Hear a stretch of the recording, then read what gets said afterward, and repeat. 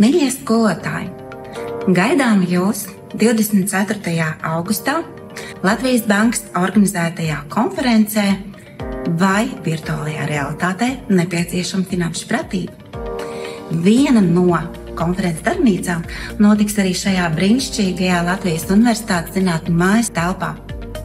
Programmu esam veidojuši tā, lai iedvesmu, noderīgu informāciju un aktuālus datus, pieredzes apmaiņu iegūtu gan sākuma skolas skolotāji, gan pamatskolas skolotāji, gan noteikti arī vidusskolas skolotāji.